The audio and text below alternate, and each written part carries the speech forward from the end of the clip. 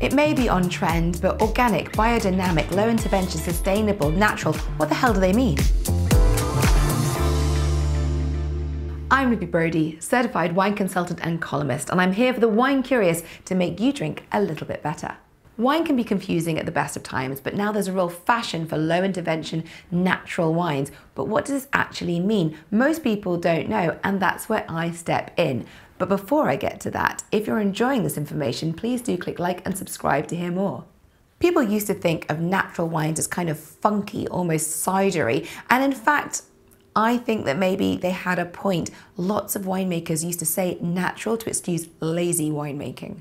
But nowadays, this isn't the case, and the wines are beautiful and desirable. But here's a bit more about them. Organic and biodynamic wines refer to how the vines are farmed. So, organic vines will be grown without chemical pesticides, herbicides, anything like that. It's really natural. Many wineries will be certified organic and many will actually farm adhering to organic principles, but they won't be certified because there's a lot of paperwork and bureaucracy and quite honestly, some of them just don't feel they have time for that. Biodynamic wines are the same, but they take it one step further. They see their vineyards as being part of a giant ecosystem. They often even use the astrological calendar in their winemaking and their farming and their growing techniques. They won't use any chemicals at all and they will encourage active biodiversity within their vineyards, encouraging in other wildlife, wildflowers, using animals for pest control, etc. Both of these styles of farming are considered better and better for the planet and for the wines themselves. But on to natural wines. This is the tricky one. Natural wine is actually not a legally defined term.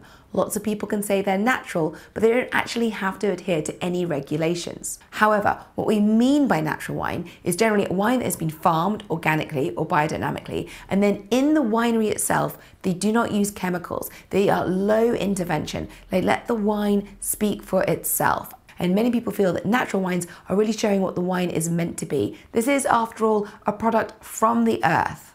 And they want to reflect the climate, the soil, and how that grape has really flourished in itself. Maybe they will add a little bit of sulfite in order to stabilize and protect that wine. And if you want to find the truth about sulfites, then click this link on your screen here.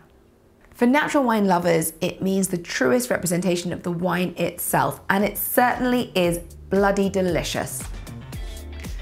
I'm Libby Brodie, certified wine consultant, and I hope this has given you a little overview about what the terms organic, biodynamic, and natural actually mean. Please let me know your favourite natural wine in the comments below, and do like and subscribe to hear more from me. Cheers!